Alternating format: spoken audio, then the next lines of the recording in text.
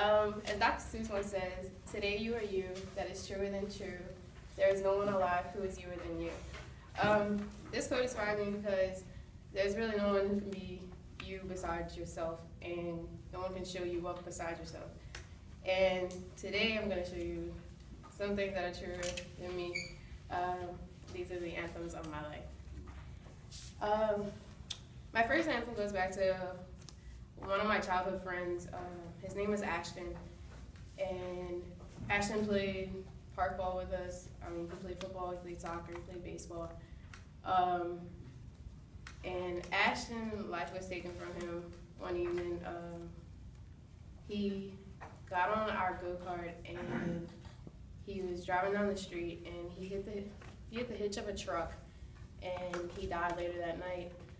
And I just remember Ashton always being that one kid that would just have a positive attitude and always be good. Like he was obedient to his parents and everything else like that. And he was he was just one of those kids that you always want to hang around. And I remember going to the fair that night because our parents wanted us to get it off our minds. And a song by Puff Daddy came on, um, "I'll Be Missing You," and the song went, uh, "What a life to take, what a bond to break. I'll be missing you."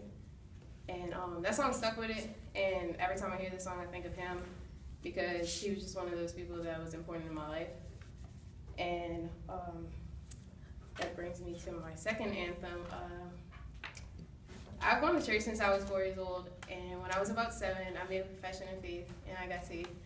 And when I thought everything was going good and everything was going fine, um, during the middle of it, my parents were getting divorced, and it was just it was just crazy, and, it was just my three uh, my two brothers and I, and my my mom ended up leaving, so we stayed with my dad, and a song that stuck with me going through church and having my parents divorce uh, was Temporary Home, and it was recorded by Carrie Underwood.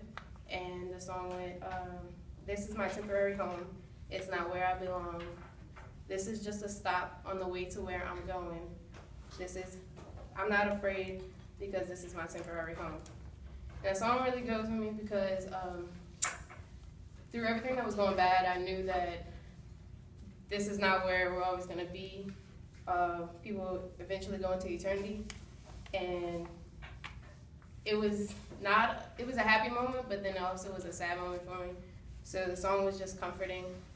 So, um, which brings me to my third anthem. Uh, is when my parents were getting divorced, uh, I got a lot closer to my dad, uh, like even a lot closer than what I was before, and like to this day, um, just daddy's little princess. I'm the only girl, and um, uh, when I was on my way to college, uh, I remember the song. Like I've always listened to the song when I was little, but uh, I heard the song on the way here, and it goes, um, "You Can Let Go Now, Daddy" by Crystal Shawanda, and it's "You Can Let Go Now, Daddy.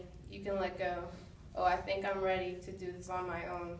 It still feel, it still feels a little bit scary. Um, you can let go now, and it's really hard to say goodbye to my dad every time I leave the house.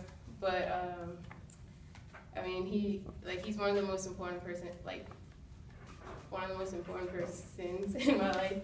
Um, and I just don't know where I would be without him because he stuck with us through the divorce and he was there for me and my brothers. And these are the anthems of my life.